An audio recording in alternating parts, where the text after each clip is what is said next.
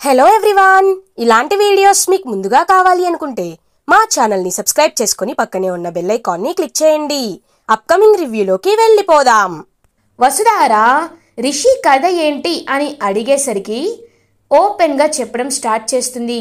Rishi sir gentlemen prince serious సింహం ఒక విలువల గల తల్లికి కొడుకు ఒక బాధ్యత గల తండ్రికి కొడుకు.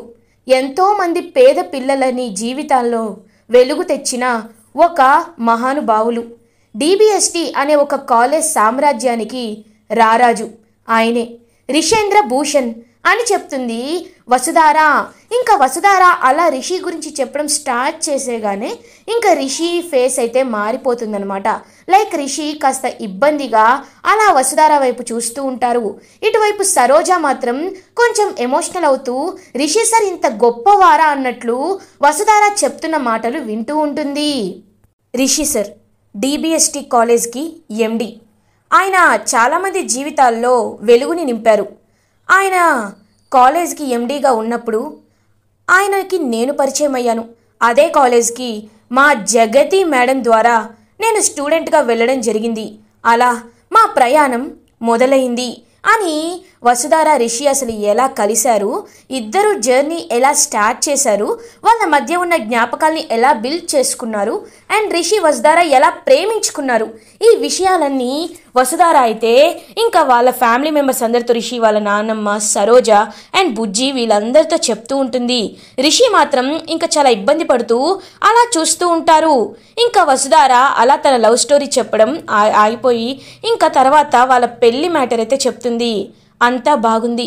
పెళ్ళి చేసుకోవాలి అని అనుకునే టైంకి మా అత్తయ్య గారు జగతి మేడం గారు చనిపోయారు అని అంటుంది వసుధారా. ఇంకా రిషి కళ్ళల్లో అయితే కన్నీళ్ళు వస్తూ ఉంటాయి. ఇటువైపు పక్కన సరోజ బుజ్జి అండ్ రిషి వాళ్ళ నాన్నమ్మ వీళ్ళు కూడా చాలా అంటే చాలా ఎమోషనల్గా ఫీల్ అవుతారు. వసుధార పాపం చాలా ఏడుస్తూ ఉంటుంది. ఇంకా రిషి వాళ్ళ నాన్నమ్మ వసుధార దగ్గరికి వెళ్ళి ఊరుకోమ్మా ఊరుకో. మంచి వాళ్ళకే ఎప్పుడు కష్టాలు వస్తాయి. ఆ దేవుడు మంచి వాళ్ళని త్వరగా తీసుకువెళ్ళిపోతారు అంటారు. అలాగే పాపం ఆ జగతి మేడం చాలా మంచి ఆవిడలా ఉంది. నువ్వు చెప్తున్న దాని ప్రకారం ఆవిడ చాలా మంచి ఆవిడ ఆవిడకి ఇలాంటి కష్టాలు. ఊరుకోమ్మా అని చెప్పి పాపం ఇంకా రిషి వాళ్ళ నాన్నమ్మ అయితే ఓదారుస్తూ ఉంటుందన్నమాట. వసుధారాని ఇంకా అలా సరోజ కూడా ఎమోషనల్ అవుతుంది. రిషి మాత్రం ఇంకా సైలెంట్గా ఏమి చెప్పకుండా ఏమీ ఎక్స్ప్రెస్ చేయకుండా అలా సైలెంట్గా ఉంటాడు. సరోజ కూడా ఇంకా వసుధార అండ్ రిషి స్టోరీ విని ఇంకా అలా వసుధార దగ్గరికి వచ్చి మీది ఇంత గొప్ప కథని నేను నిజంగా అనుకోలేదు. రిషి సార్ ఎక్కడున్నారో కానీ చాలా మంచివారు. ఆయన చేసిన మంచే ఆయన్ని కాపాడుతుంది. కానీ నీకు ఒక్క విషయం నేను చెప్పాలి అనుకుంటున్నాను.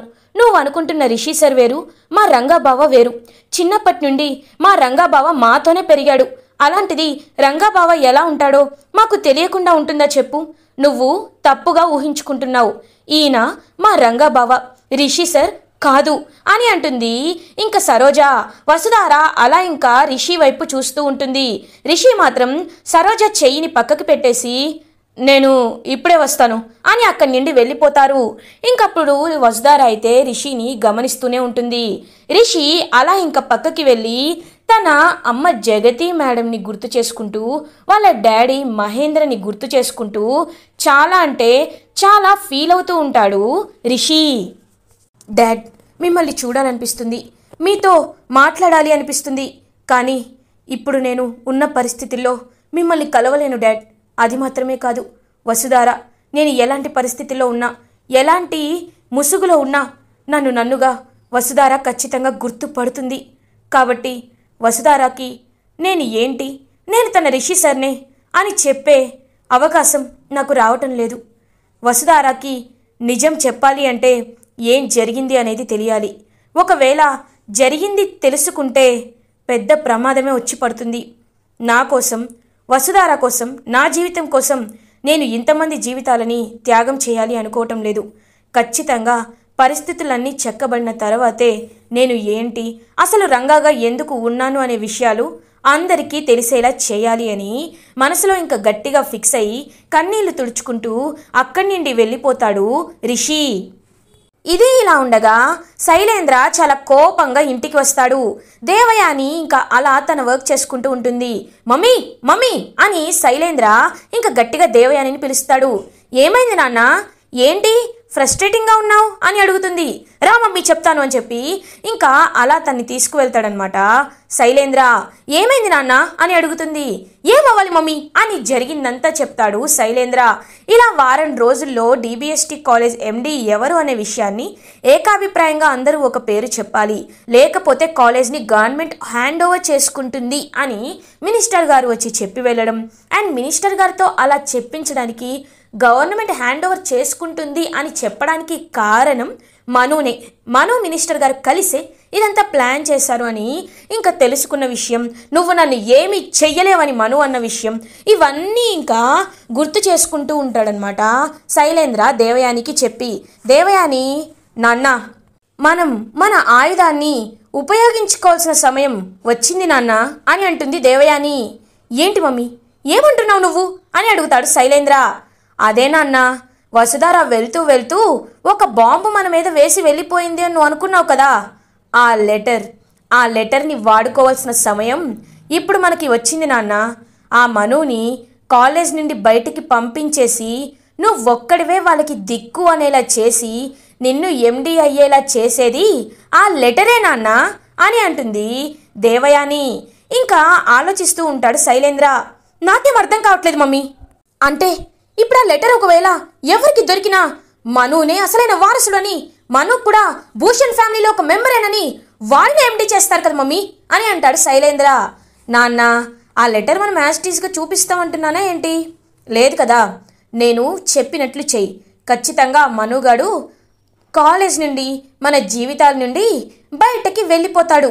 అర్థమైందా? అని ఇంకా అలా అయితే ఒక ప్లాన్ అయితే చెప్తుంది దేవయాని. వావ్! సూపర్ మమ్మీ నువ్వు చెప్పినట్లే చేస్తాను. కానీ నాకు ఒకటి అనిపిస్తుంది. ఇదంతా ఎందుకు? ఆ మనుగాన్ని లేపేస్తే అని అంటారు. ఛీ నోర్ముయిరా ఒకవేళ మనుగాన్ని లేపేస్తే ఖచ్చితంగా అందరికీ నీపైనే అనుమానం వస్తుంది. పోలీస్ ఇన్వెస్టిగేషను అది ఇది అని నిన్ను ఎండీ కాకుండా చేస్తారా? ఆ మహేంద్ర అనుపమ? వాళ్ళకి అలాంటి ఛాన్స్ ఇవ్వకూడదు.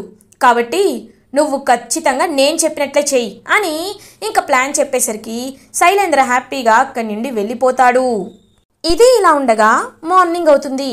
ఇంకా రిషి అయితే అలా రెడీ అవుతూ ఉంటాడు. అప్పుడే వసుధార రిషి దగ్గరికి వస్తుంది. సార్ మీ చేత ఎలా అయినా నేను నిజం బయట పెట్టిస్తాను సార్ అని మనసులో అనుకుంటుంది వసుధార. అప్పుడే ఇంకా రిషి అయితే నాన్నమ్మా నేను బయటికి వెళ్ళి వస్తాను అని అలా ఇంకా బయటికి ఆటోలో వెళ్తాడనమాట రిషి. ఇది ఇలా ఉండగా మనుకి ఒక ఫోన్ కాల్ వస్తుంది. ఇంకా ఫోన్ కాల్లో హలో చెప్పండి. ఏమంటున్నారు మీరు? మిషన్ ఎడ్యుకేషన్ యాజ్ ఇట్ ఈస్గా రన్ అవుతుంది కదా? మీరు ఎలా రన్ అవ్వరు అనుకుంటారు అని ఇంకా మాట్లాడుతూ ఉంటాడనమాట రిషి సారీ ఇంకా మను అయితే వాళ్ళతో సరే నేను ఇప్పుడే బయలుదేరుతున్నాను అని కాల్ కట్ చేస్తాడు. మహేంద్ర క్యాబిన్కి వెళ్తాడు మను. సార్ మీతో ఒక విషయం మాట్లాడాలి అని అంటారు. చెప్పు మను అని అంటారు మహేంద్ర. ఒక స్కూల్ దగ్గర నుండి కాల్ వచ్చింది సార్. మిషన్ ఎడ్యుకేషన్ అనేది ఆపేస్తున్నామని. దానివల్ల ఎలాంటి ఇప్పుడు మాకు మిషన్ ఎడ్యుకేషన్ డిబిఎస్టీ కాలేజ్కి రన్ అవ్వటం లేదని ఎవరో రూమర్స్ స్ప్రెడ్ చేశారంట. వాళ్ళతో వెళ్ళి కాస్త మాట్లాడాలి సార్ అని అంటారు. మను ఓకే మను నేను కూడా రానా అని అడుగుతారు. పర్లేదు సార్ నేను హ్యాండిల్ చేయగలను. మీరు ఓకే అంటే నేను ఆ విలేజ్కి వెళ్ళొస్తాను సార్ అని అంటారు. సరే వెళ్ళిరా మను అని అంటారు మహేంద్ర. ఇంకా అలా మను అయితే ఎక్కడైతే ఆ కంప్లైంట్ వచ్చిందో ఆ విలేజ్కి బయలుదేరతాడు. ఇంకా మను అయితే కరెక్ట్గా ఏ విలేజ్కి వెళ్తాడంటే ఎక్కడైతే రిషి వసుధార వాళ్ళు ఉంటున్నారో అదే ఊరికి వెళ్తాడనమాట మను కూడా ఇంకా అక్కడికి వెళ్ళి ఆ స్కూల్లో ఇంకా వాళ్ళతో మాట్లాడుతూ ఉంటారు. మిషన్ ఎడ్యుకేషన్ని సక్సెస్ఫుల్గా మేము రన్ చేస్తున్నాం. మీరు ఎలాంటి భయం పెట్టుకోవాల్సిన అవసరం లేదు అని ఆ మేనేజ్మెంట్తో మాట్లాడుతూ ఉంటాడనమాట మను సార్ మీరు అలా చెప్పడానికి కారణం ఉండొచ్చు సార్. కానీ మేము అది కరెక్ట్గా నమ్మాలి అంటే మీరు ఎవరు ఏ హోదాలో ఉన్నారని చెప్పి ఇంకా అడుగుతూ ఉంటారనమాట ఆ మిషన్ ఎడ్యుకేషన్ గురించి. ఆ స్కూల్ కమిటీ అయితే. సార్ వారం రోజుల్లో ఎవరు ఏంటి అనేది తెలుస్తుంది. కానీ మీరు నాపై నమ్మకం ఉంచండి. డీబీఎస్టీ తలుపు తరపున రిప్రజెంటేటివ్గా నేను చెప్తున్నాను అని చెప్పి ఇంకా ప్రాబ్లమ్ని సాల్వ్ చేసి అలా ఇంకా తిరిగి వస్తూ ఉంటాడనమాట మను కరెక్ట్గా అదే టైంకి వసుధార అయితే ఇంకా అలా బయటికి వస్తుంది. నాన్నమ్మ గారు నేను ఇప్పుడే బయటికి వెళ్ళి వస్తాను అని చెప్పి అంటుంది. ఎక్కడికమ్మా వస్తారా అని అడుగుతారు రిషి వాళ్ళ నాన్నమ్మ అదే రిషి సర్కి క్యారేజ్ ఇవ్వాలి కదా నేను తీసుకువెళ్తాను అని అంటుంది. ఏం అక్కర్లేదు నేను నా బావకు క్యారేజ్ ఇస్తాను అని అంటుంది సరోజ. సరోజ నువ్వు ఎందుకు? నేను వెళ్తాను కదా అని అంటుంది వసుధారా. చూడండి మేడం నిన్న మీ కథ విన్నాక మీపై నాకు రెస్పెక్ట్ పెరిగింది. మళ్ళీ దాన్ని తగ్గించుకోవాలి అని అనుకోకండి నేను వెళ్తున్నాను అని అంటుంది సరోజ. ఇంకా అదే టైంకి వసుధార సరోజ ఇద్దరు ఇంకా అనేసరికి ఇంకా సరోజాది తప్పించి వసుధారానే వెళ్తుందనమాట రిషికి క్యారేజ్ ఇవ్వడానికి. ఇంకా అలా రిషి దగ్గరికి వెళ్తూ ఉంటుంది వసుధార. కరెక్ట్గా అదే టైంకి మను ఇంకా కార్లో ఫోన్ మాట్లాడుతూ ఉంటాడు. ఫోన్ మాట్లాడుతూ అలా ఇంకా తను రాంగ్గా లైక్ తను చూసుకోకుండా డ్రైవ్ చేసేసరికి ఒక్కసారిగా కార్కి అడ్డుపడతారు ఒక పర్సన్. ఎవరు అని చెప్పి దిగి మను చూసేసరికి అక్కడ వసుధార ఉంటుంది.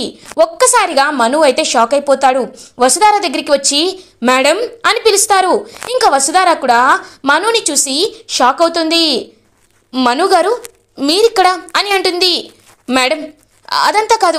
మీరేంటి మేడం ఇక్కడున్నారు? అని అడుగుతాడు మను. ఇంకా వసుధారాయణ మను ఇద్దరు మాట్లాడుకుంటూ ఉంటారు. సార్ జరిగింది ఇది అని జరిగిందంతా చెప్తుంది. అంటే రిషి సార్ ఇక్కడికి వచ్చి రంగా గారిలా నటిస్తున్నారు. కానీ రిషి సార్ ఎందుకలా చేస్తున్నారు మేడం? అని అడుగుతారు మను. నాకు అది అర్థం కావట్లేదు సార్. నేను ఎంత చెప్తున్నా రిషి సార్ బయట పడటం లేదు. రిషి సార్ బయట పడాలి అంటే మనకి ఏ మార్గం కూడా కనిపించటం లేదు సార్. అని అంటుంది వసుధార. అదే టైంకి కరెక్ట్గా రిషి అయితే ఇంటికి వస్తాడు. ఇంకా ఇంటికి వచ్చేసరికి అక్కడ దూరంగా వసుధార అండ్ మను మాట్లాడుకోవడం చూస్తాడనమాట రిషి. ఎవరు? అని చెప్పి అలా వెళ్తారు. మేడం గారు ఏంటి ఇక్కడున్నారు? ఈసారి ఎవరు అని అడుగుతారు రిషి. రిషిని చూసిన మను ఒక్కసారిగా స్టన్ అయిపోతాడు. రిషి సార్ అని అంటారు. ఏంటి సార్ మీరు కూడా? మేడం గారి అనుకుంటే నేను రిషి సార్నేంటి? నేను రంగాని సార్ అని అంటారు. సార్ మీరు ఎందుకు ఇలా నటిస్తున్నారో? నాకు అర్థం కావట్లేదు సార్. అక్కడ డిబిఎస్టీ కాలేజ్ ఎంత ప్రమాదంలో ఉందో మీకు తెలుసా? ఎంత డౌన్ఫాల్ అయిందో మీకు తెలుసా? మళ్ళీ మీరు వస్తేనే కాలేజ్ అనేది పైకి నిలబడుతుంది సార్ అని చెప్తాడు మను. సార్ ఏం మాట్లాడుతున్నారండి? నేను రంగాని రిషిని కాదు అని చెప్పి ఏంటో మీరు కూడా మేడం గారిలాగే మాట్లాడుతున్నారు. ఆ రిషి సార్ నాలాగే ఉంటారనుకుంటా. ఏంటో అని అక్కడి నుండి వెళ్ళిపోతాడు రిషి. చూశారు కదా సార్ గత కొన్ని రోజుల నుండి నేను ఇలాగే చెప్తున్నాను. కానీ రిషి సార్ మాత్రం నేను రంగానే అని చెప్తున్నారు. ఆయన ఎందుకు ఇలా చెప్తున్నారో నాకు అర్థం కావట్లేదు మను గారు అని అంటుంది వసుధారా. మేడం రిషి సార్ తన గతాన్ని బయట పెట్టాలి అన్నా? తను రిషి సార్ అని అందరి ముందు ఒప్పుకోవాలన్నా ఒకే ఒక్క దారుంది. అని అంటారు మను. ఏంటి సార్ అది? అని అడుగుతుంది వసుధారా. ఇది ఇలా ఉండగా నైట్ అవుతుంది. ఇంకా రిషి అయితే అలా భోజనం చేస్తూ ఉంటారు. సార్ ఇవాళ వంటలన్నీ కరెక్ట్గా చేయాలి అనుకుంటున్నాను అని అంటుంది వసుధారా. మేడం గారు చెప్పాను కదా మీరు వంట చెయ్యకండి అని ఇంకా రిషి అయితే రిక్వెస్ట్ చేస్తూ ఉంటాడు వసుధారాకి. రేయ్ ఇవాళ తను వంట చేయలేదు లేరా ఇది ఒత్తిను అని చెప్పి ఇంకా రిషికి అయితే భోజనం పెడుతూ ఉంటుంది. రిషి వాళ్ళ నాన్నమ్మ రిషి సార్ రేపు మీ జీవితంలో చాలా రోజుల తర్వాత చూసింది చూడబోతున్నారు. ఖచ్చితంగా ఖచ్చితంగా మీరు రేపు ఎలా బయటపడరో నేను చూస్తాను సార్ అని వసుధార హ్యాపీగా నిద్రపోతుంది. ఇది ఇలా ఉండగా మార్నింగ్ అవుతుంది. ఇంకా రిషి అయితే లేచి రెడీ అయి అలా బయటికి వస్తాడు. వసుధార రిషి వైపు చూస్తూ ఉంటుంది.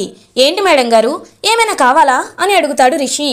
ఏం వద్దు సార్ ఒకసారి మీరు నాతో బయట వరకు రండి చాలు అని చెప్పి ఇంకా వసుధార రిషి చేపట్టుకొని అలా ఇంకా రిషిని బయటికి తీసుకువెళ్తుంది.